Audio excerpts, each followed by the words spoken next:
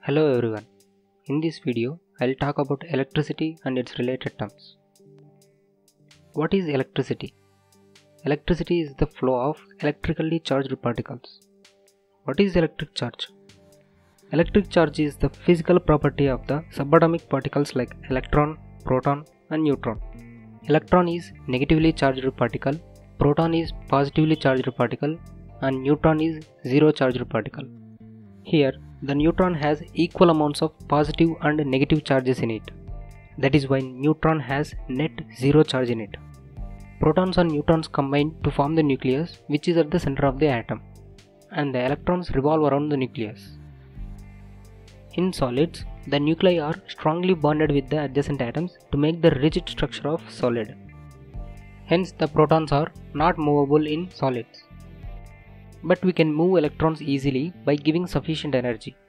Hence the electric current in the solids is due to the flow of electrons only. What is current?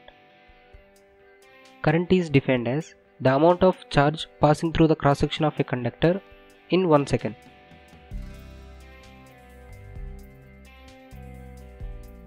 The SI unit of current is ampere. 1 ampere equals to 1 coulomb per 1 second. Here, coulomb is the unit of charge. 1 coulomb equals to the charge of 6.25 into 10 power 18 electrons. So, if 6.25 into 10 power 18 electrons are passing through the wire in 1 second, then we can say that the current in the wire is 1 ampere. Here the flow of electrons is from negative terminal to positive terminal. But the current direction is mentioned in the opposite direction of electron flow. This is because at the time of discovery of electricity, the electron was not yet discovered. So scientists believed that the current is due to the flow of positive particles from positive terminal to negative terminal. Even after the discovery of electron, this notation is not updated.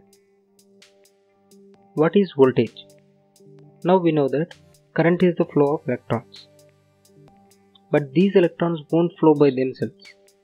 They need some pushing energy to flow through the wire. That pushing energy is called voltage. Here, the voltage is provided by battery. Battery has mainly three types of components anode, electrolyte, and cathode. Anode contains excess number of free electrons. On the other hand, cathode is scarce of electrons. This difference in the electron distribution creates a potential difference between anode and cathode. This potential difference is called voltage. If higher the excess electrons in anode, higher will be the voltage. The electrons in the anode try to flow towards cathode, but the electrolyte opposes the flow of electrons. So there is no way to flow of electrons. But when the battery is connected with the wire, electrons find a way from anode to cathode through the wire.